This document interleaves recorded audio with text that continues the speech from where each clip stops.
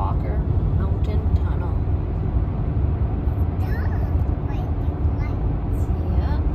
We're inside the mountain right now. We're going through it.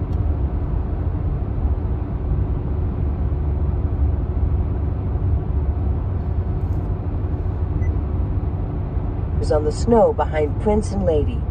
He was muffled in a buffalo coat and a fur cap with flaps that were as snug as a hood. He did not step out into the storm. Instead, he lifted the fur robes and gave Laura his hand to help her step into the cutter. Then he tucked the robes around her. They were furry, warm buffalo skins lined with flannel. You want to stop at Brewster's? he asked.